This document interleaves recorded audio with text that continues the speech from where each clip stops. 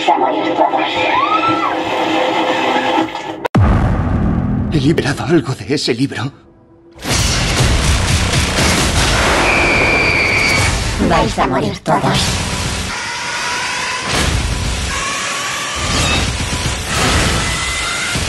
Posesión infernal. Vamos a por ti. 5 de abril en cines.